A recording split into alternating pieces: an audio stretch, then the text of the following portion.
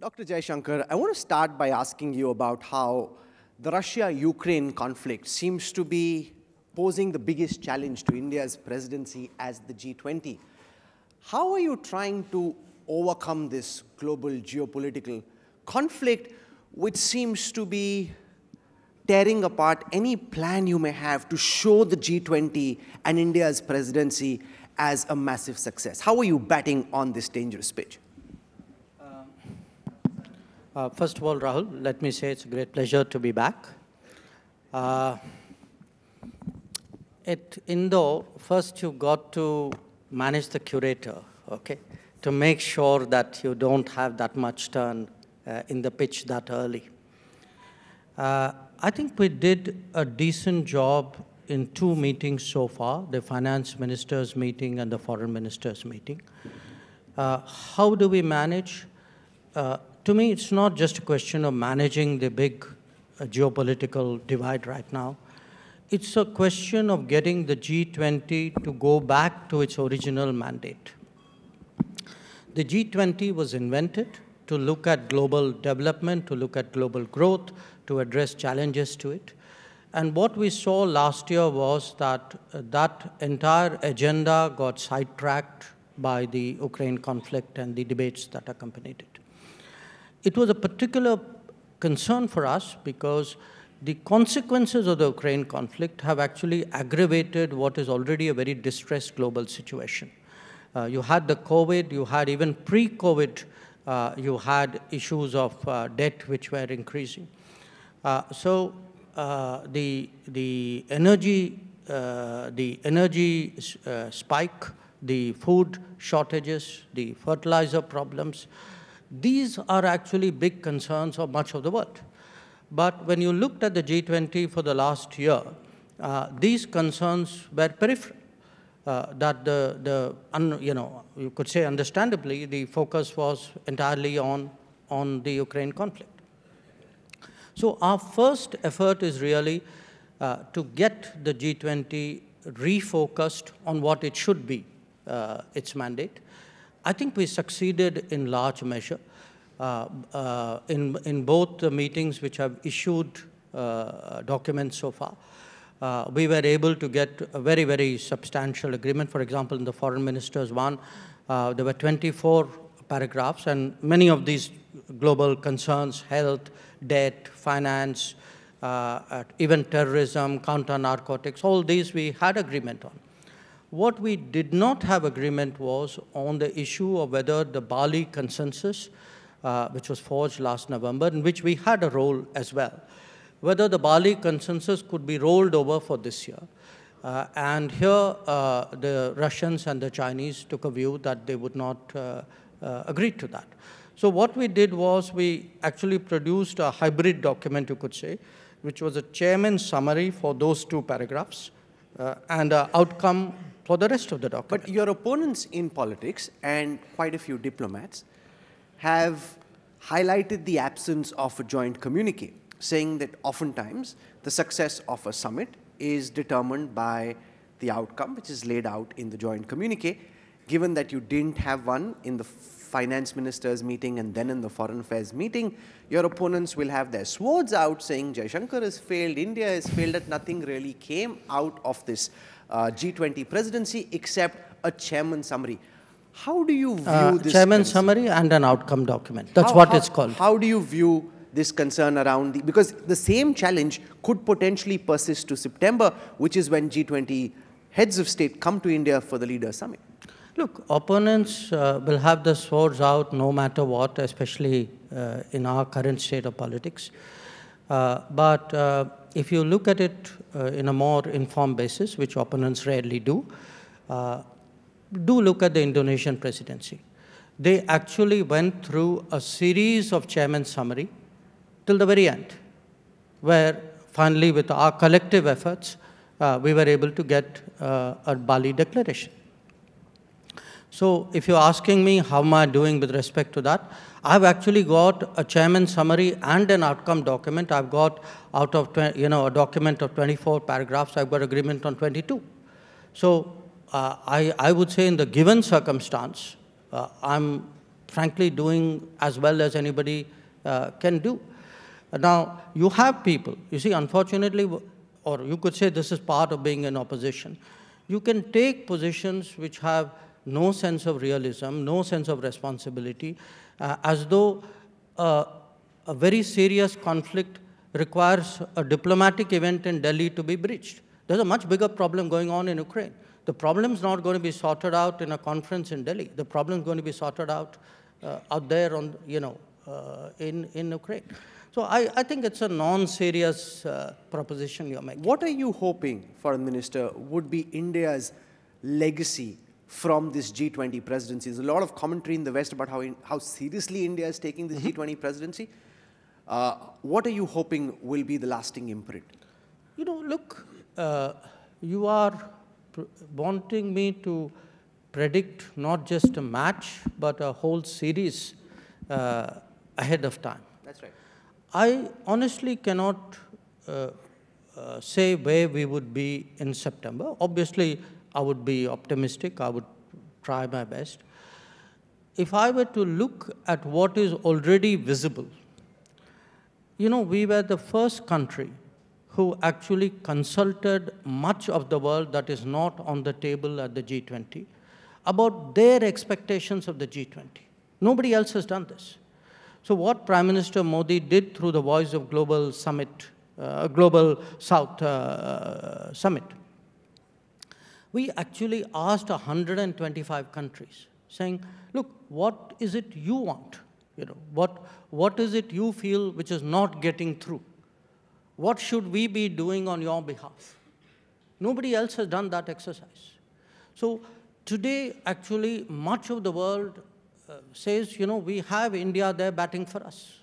That our concerns are going to be on the table, our voice will be heard, uh, and uh, I would say, I would certainly hope one big legacy, and I'm confident of that, would be to make G20 much more true to its global mandate. The G20 should not be uh, a debate, you know, uh, I would say a debating club or a arena only of the global north. That the entirety of, of global concerns need to be captured. I think we have already made that point very, very forcefully. Now, what else comes out of it? You know, at the moment, people are very, very seriously discussing issues like green financing. They're discussing how do we get the Agenda 2030 back on track. Uh, they, are, they are looking at uh, issues which, you know, range from uh, terrorism financing, counter narcotics. So there, there's a big agenda out there. There's been some commentary internationally about how India and Prime Minister Modi could have a role to play in trying to work out some kind of a rapprochement or a truce between Russia and Ukraine. In the real world, how feasible is this? Is this something that the Indian government is trying to work towards? Uh, you know, in the real world, you don't predict, and you definitely do not predict publicly. Uh, so, uh, so uh, I won't really give you a more specific response on that, but I do want you to note something. Uh, at this time, there are very, uh, very concrete, very, I would say, specific issues which have arisen from the Ukraine conflict. Wherever there's a possibility for us to contribute, we have tried to do so. I'll give you two examples. When we were at Bali, the Turkish foreign minister actually brought up with me the problems they were having at that time with Russia on the Black Sea uh, grain corridor. Uh, and he felt that my speaking to Lavrov would be very helpful. Uh, and I did. Uh, and, uh, you know, uh, okay, it may have made a 1%, 2%, 5% difference, I don't know. But in some way, we could help. When we were, when I was in Ukraine, at that time, the, uh, uh, when I was in New York, sorry, the Ukrainian prime minister actually met me and had some concerns about the Zaporozhye nuclear power plant. And he wanted certain issues to be conveyed to the Russians. So I got uh, PM's okay uh, to do that and then went and, you know, did that with Lavrov. And then there were some consequent issues that we brought up with IAEA, with uh, the Director General Grossi. So wherever we can help, we will.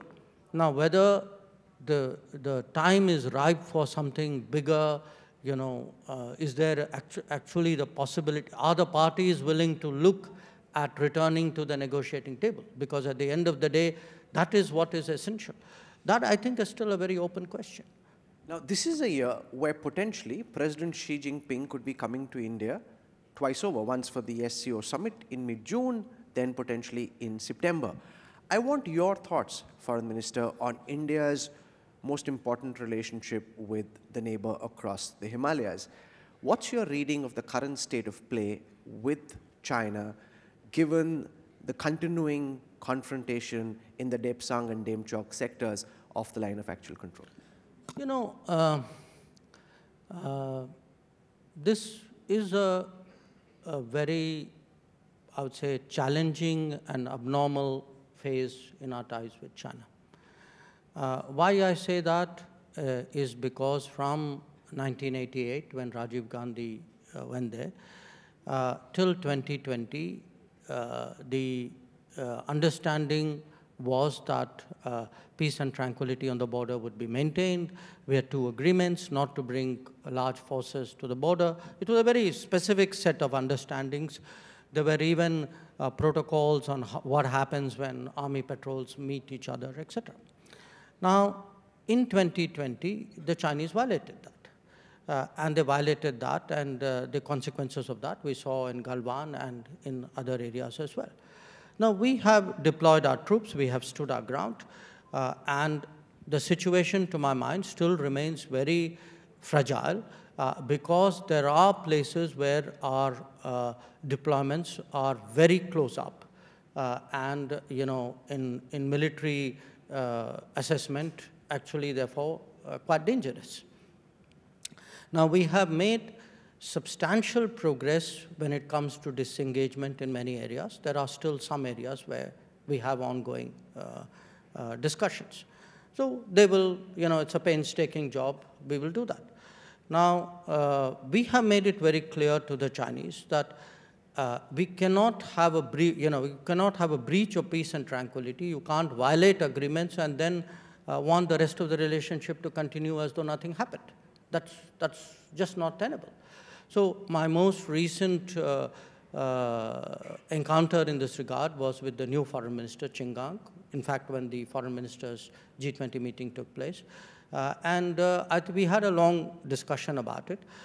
the, you know, in September 2020, we, Wang Yi and I had an in-principle agreement how we're going to resolve it. So the Chinese have to deliver on what was agreed to. And they have struggled with that. Why? Well, that's a question you need to ask them. You know, I can't answer it because for me it's very clear cut. Until, until these problems are sorted out, we will not return to a normal relationship. I want to make that very, very clear. Your opponents say that you're not being totally honest about the extent of incursion, that areas where the Indian Army used to patrol previously have been denied, landmass in excess of 1,000 square kilometers being spoken of. They're saying this is a daylight robbery of our land. The PLA has intruded into our country. Dr. Jaishankar is not so, telling the people so these, the truth. These are the same opponents who said, let's leave the border undeveloped so that the Chinese can't come? Or if they come in, they can't come in so, uh, so, so, fast? These are the same opponents? Okay. Uh, now, let's, let's look at the reality. Uh, look, the reality is uh, wherever an attempt has been made to uh, change the status quo, the Indian Army has deployed and countered. Now, it is because of that that there has been stand face-offs and standoffs, and on some occasions, uh, uh, clashes and loss of lives. If we had done nothing, then Galwan wouldn't have happened. Then, you know, what you saw uh, in December at Yangtse in Arunachal wouldn't have happened. So the fact that, you know, there have been uh, counter deployments is not disputed by anybody unless you are an opponent. Okay? So, uh, in terms of what is it you are patrolling, yes, there are certain places where we have uh, is something which Rajnath Ji, the defense minister, has uh, spoken about in parliament. that uh, you have uh, mutually agreed, mutually agreed uh, uh, areas of uh, temporary non-patrolling in order to facilitate disengagement. So if there are places I cannot patrol, there are places the Chinese also cannot patrol. Now, so this is something which has been worked out in certain areas where the, the deployments were very, very close up.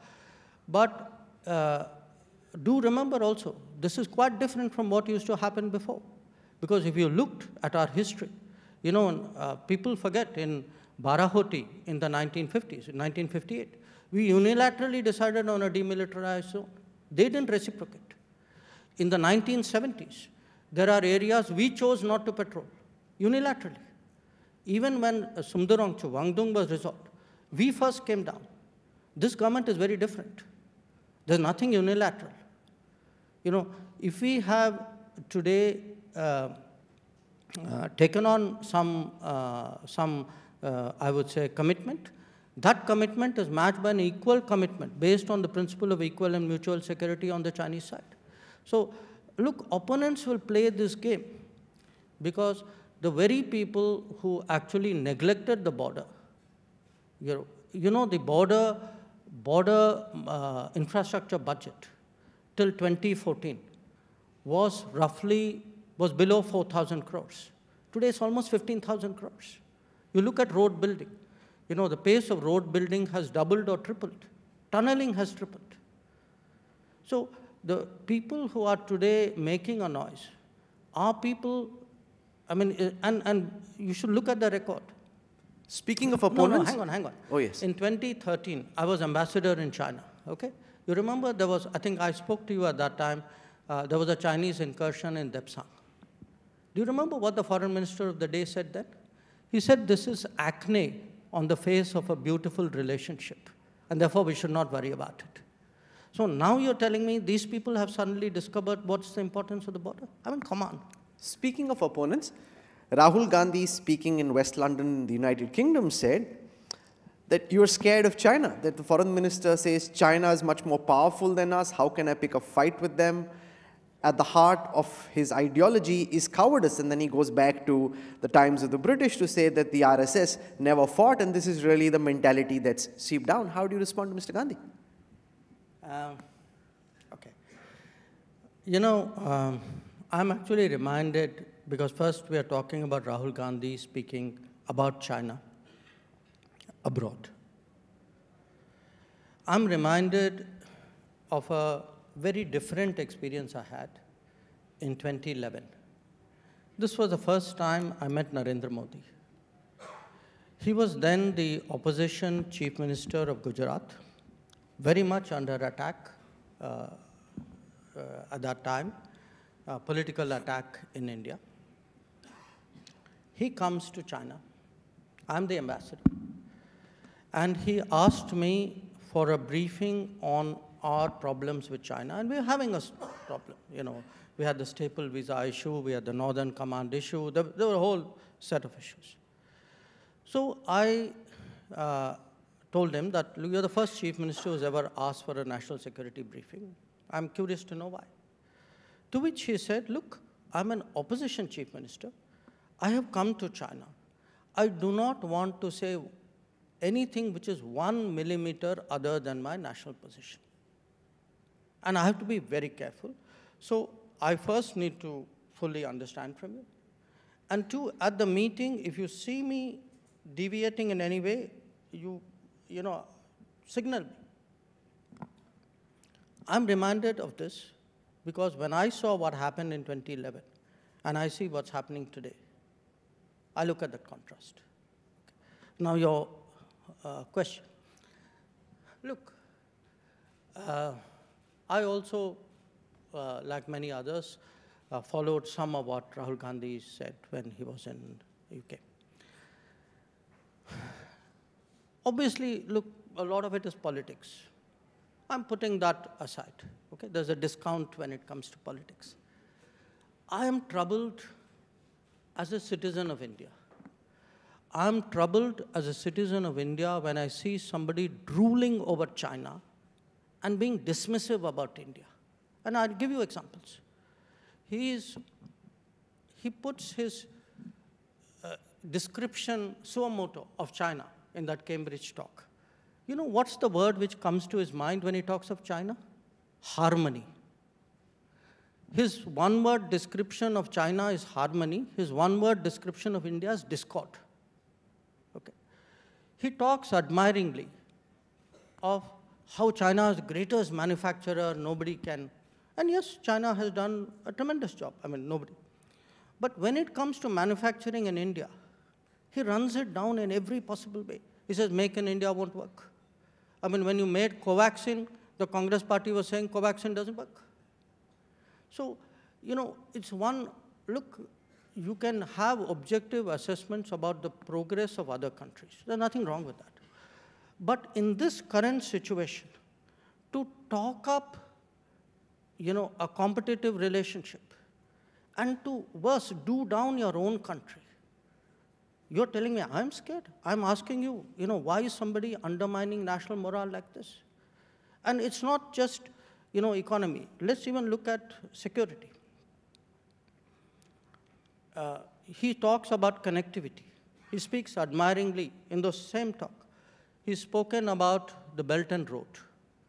He compares, very poetically, I must say, he compares Belt and Road like the Yellow River in China gushing forth.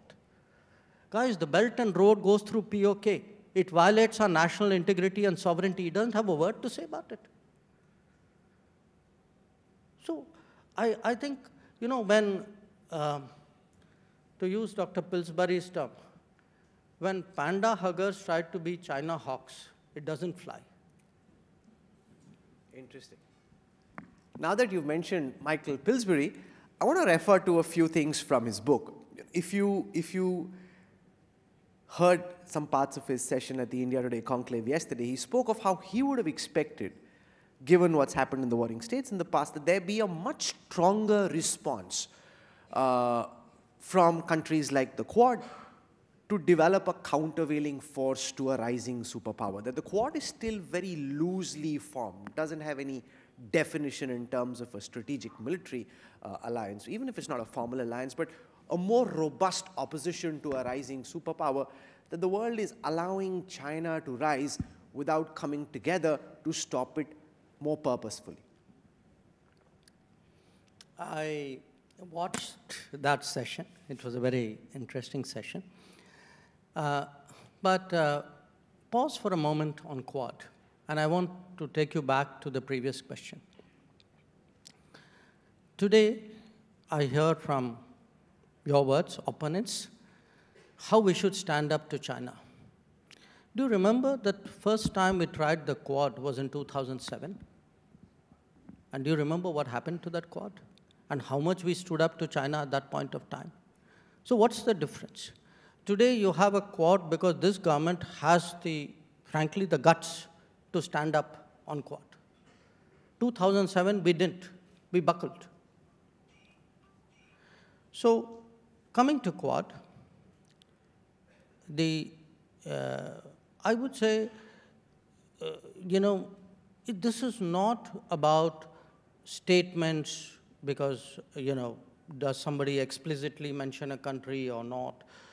It's not, you know, it shouldn't really be seen through the prism of treaties and alliances. To my mind, that's old thinking. This is a different world. And we are not a country, for reasons of our history, who do that. You know, treaties and alliances is part very much of a post-Second World War, Cold War uh, kind of uh, framework. Today, I think the global situation calls for countries with converging interests who have a great deal of comfort with each other. Uh, uh, working together in an area or a domain which they find themselves comfortable. In the case of Quad, that happens to be primarily the Indo-Pacific. And then developing, you know, what are called habits of cooperation. And I think if you see, from the time the Quad was revived, because 2007 the Quad was kind of aborted, it took a decade for it to be revived.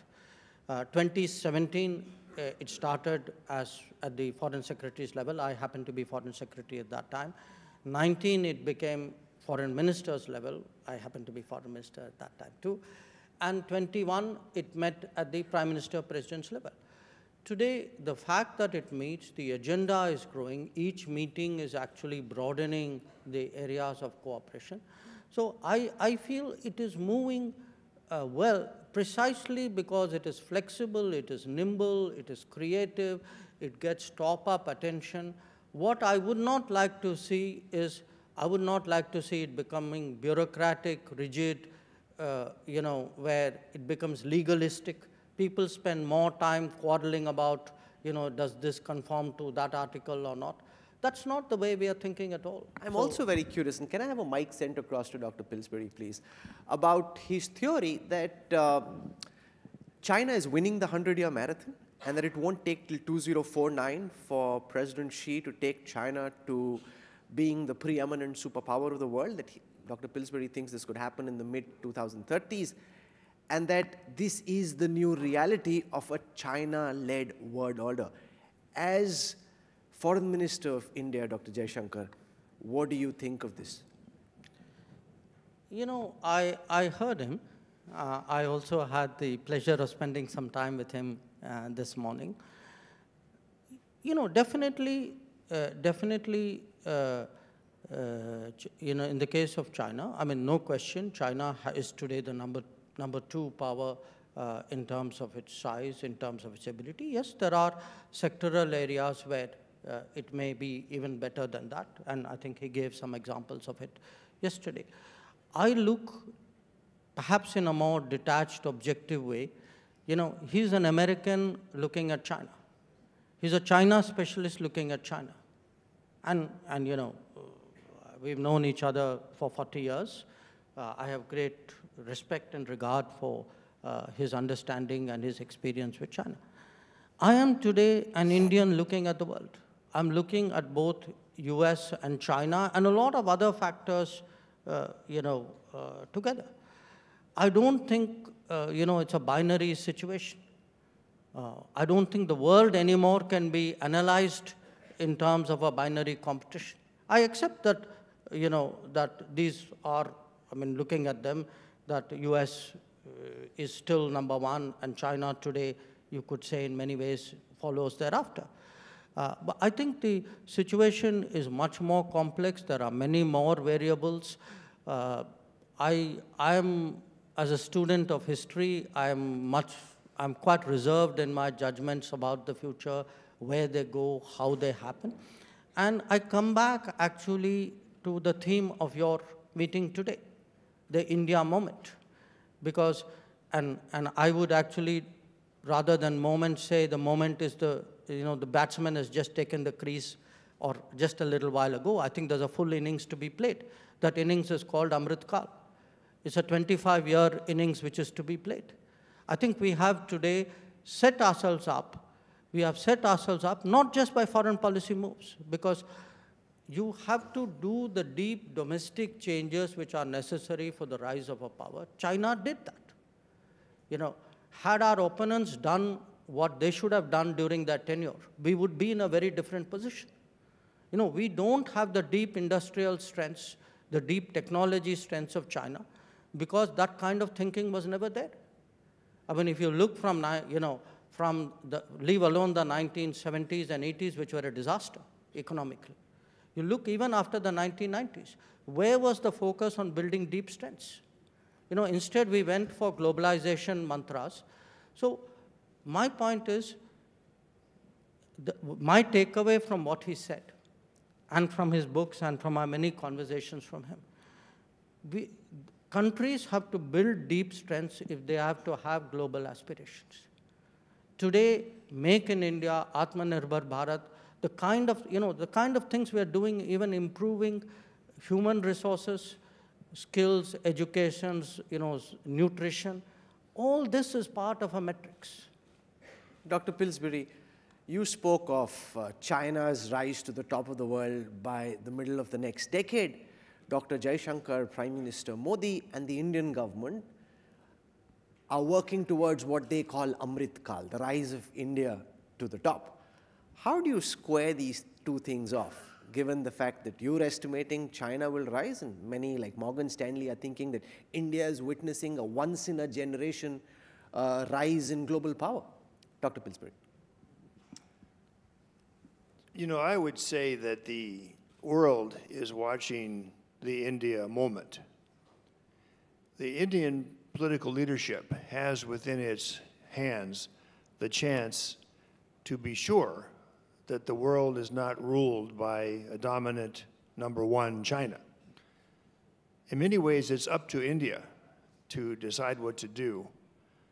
Um, and it's very scary, if I could use that word, to see Rahul Gandhi's comments about China.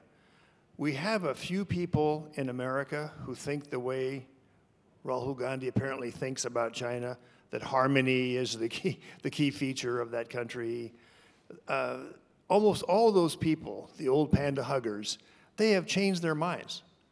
They have come alive. They realize there's a global challenge from China. And if you carefully read Dr. Jaishankar's book, The India Way, you will see in there his proposal that India should play a shaping role in the global order, partly as a voice for the global south, but for other reasons as well the reaction in China to Dr. Shank, Dr. Book is very negative. They don't like the idea that India could play a role speaking for the global south. They believe that's China's responsibility. So this challenge between the, for the future of the India-China relationship, that's something I wish I had devoted more time to uh, many years ago. But I now see India as the world's chance to be sure that China does not become a dominant, aggressive, and dictatorial society. That's interesting. I also see we have a bit of a mutual admiration club here. Uh, Dr. Pillsbury, when he came yesterday, carried uh, Dr. Jaishankar's book, uh, The India Way. And uh, I just heard from Dr. Jaishankar before we started this session that in the last several years, he's probably gifted more copies of your book than anybody else. So you've got a good uh, representative here because he wants people to read what you're writing. In fact, the very interesting thing, and I want to refer to some parts of uh, the India we, way. We do need, we need to give both the books to Rahul Gandhi. now, the very interesting thing about uh, the India way, and I refer to this just for those who haven't had the opportunity to read Dr. Jaishankar's book, is that you have a theorist, you have a strategic affairs expert who's also shaping India's foreign policy. And so much of what I grew up reading, and so many other people would have read Western thought or Chinese thought, but you're not really linking back the strategic acumen from the Arthashastra, the Mahabharata, the Ramayana, and bringing it to an Indian doctrine, an Indian strategic way of thinking, which is what Dr. Jaishankar tries to do. So, and it's also a great opportunity to engage and debate and challenge you uh, to some questions about balance of power. In the US, elsewhere, Russia, Beijing, uh, there's a lot of thought and balance of power. And national security doctrines are well documented, public documents which can be debated and discussed. In India, it stays largely within cupboards in South Block. It's not public. I want your assessment, Dr. Jaishankar, about India's comprehensive national power at this moment and your projection of the climb. If you were to ra rank countries, where do you think India stands at this moment in terms of its comprehensive national power? Where do you see it by the end of this decade? You know, uh, first of all, I, I just want to pick up a little bit on, on what you were saying, which is to develop our own, draw on our own traditions, you know, develop our own narratives, arguments, etc. Because when, I, when you speak about comprehensive national power, I mean, in a sense, there are a certain set of metrics that we take, and uh, I, I mean, I, I think nobody would dispute the fact that there are many areas, many domains where we have fallen short. We could have done very much better over many years. And I see today, uh, you know, this country, this country, I say, I mean, not necessarily this government doesn't have to be a political party. This entire country actually today making that effort. You know, as someone who travels around, I, you know, for me, it's a very small change, but a very important change I see. When you go to many educational institutions today in India, I go as a minister, they would normally say, this is the gold medalist of our university. Today, they actually say, you know, these four people, they are patent holders from our institution. These five people, you know, they have inventions they would like to show you. So this country, this society is changing, the younger generation even more so. And we are getting very, very global, much faster than people think. So I am finding, you know, before I came in here, your social media person asked me saying, you know, you are, you are very visible on the social media. It's not because the foreign minister is doing something different alone. It's also because the society has changed and is relating and interacting with that in a very different way. Your question, where do we go? Look, I am absolutely, I, mean, I, I think you stand at this moment? Let's start from there, in your estimate. We stand fairly high uh, because if you take the totality, the comprehensive uh, national power is a kind of a net, net assessment of, of our capabilities.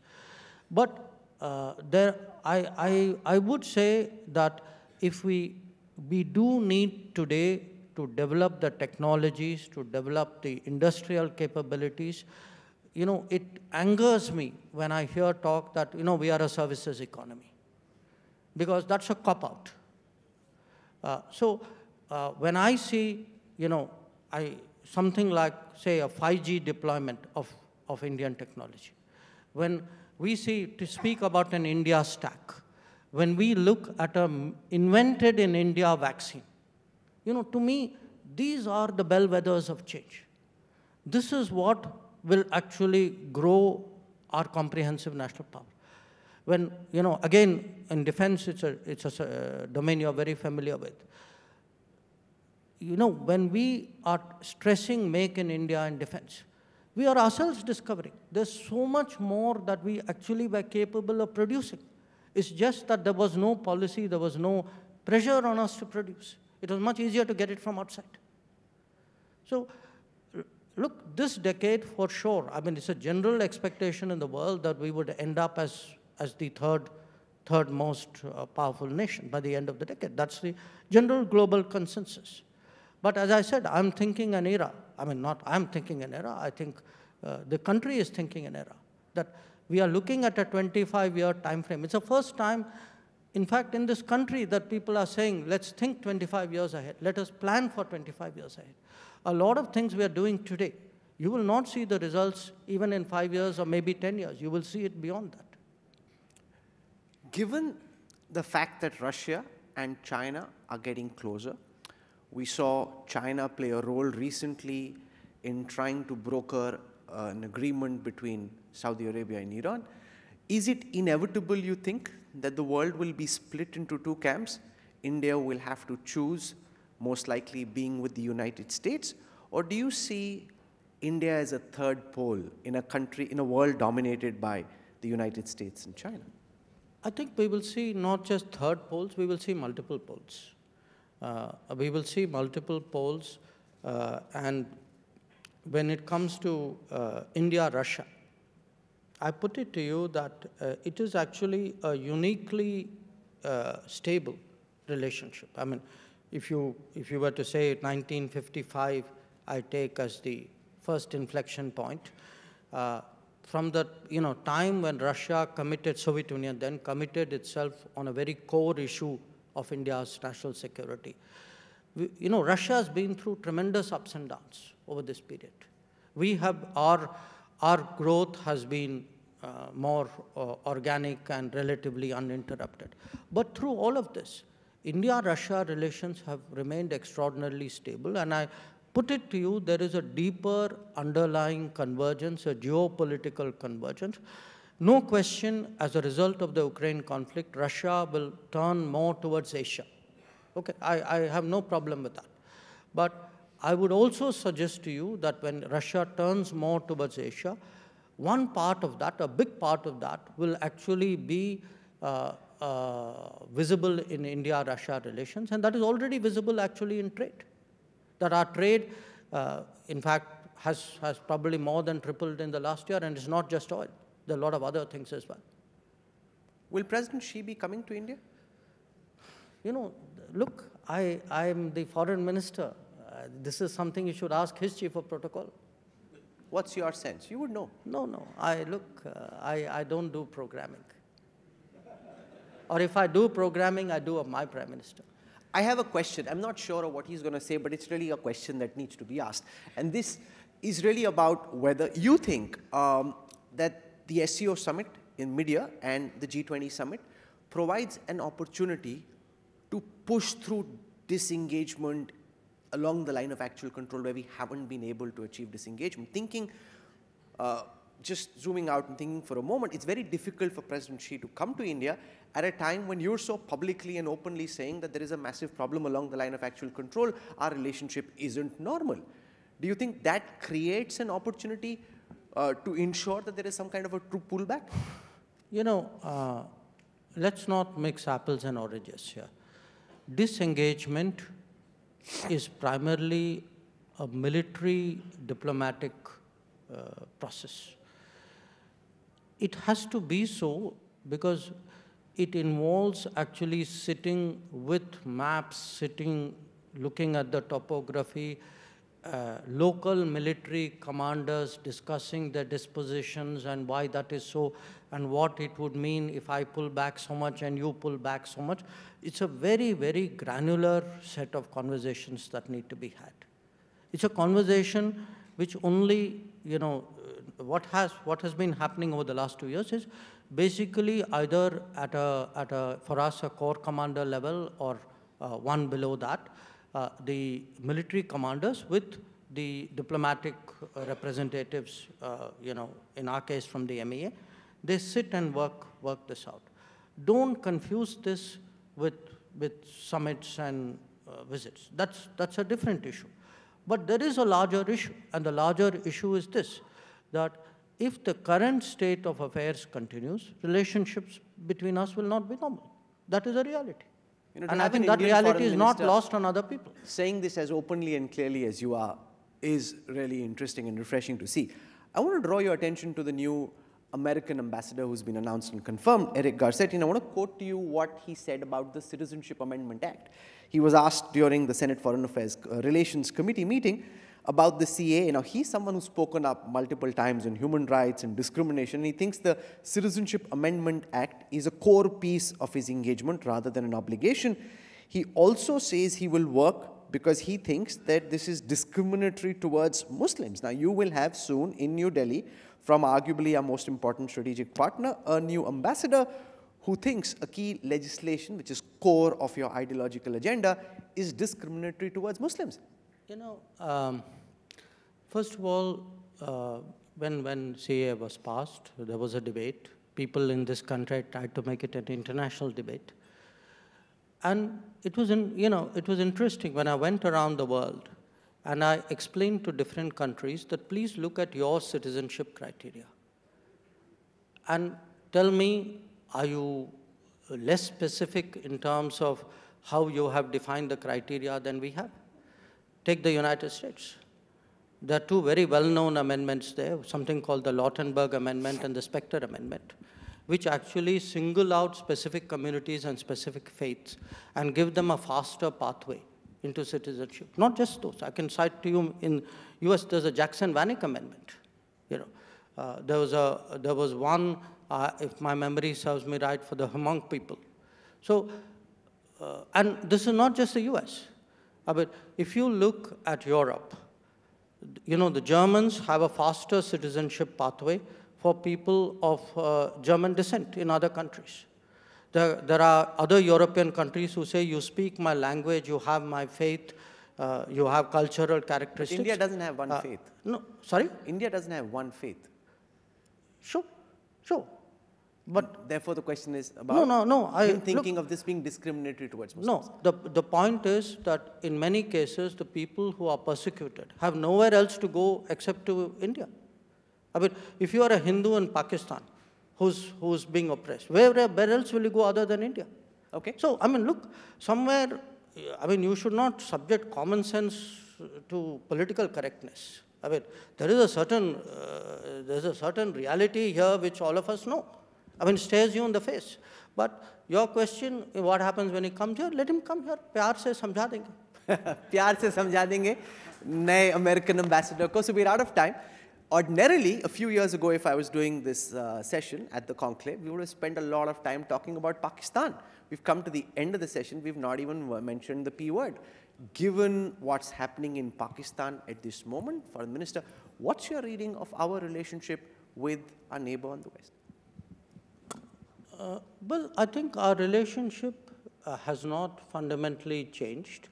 Uh, today, our relationship is at a low ebb because uh, they, ha they have not yet demonstrated a willingness uh, to give up on uh, cross-border terrorism as a primary way of dealing with India. So I think as they move away from that, one has to look at the possibilities. You know, it's been very refreshing to have Foreign Minister Jaishankar explain his point of view and India's point of view, or the India way, uh, going back to Indian scriptures and Indian uh, streams of thought as opposed to referring just very casually and easily to Western thought or even Chinese thought. And this, I think, is something which really needs to be worked on. Can we have a very warm round of applause as we thank the Foreign Minister for joining us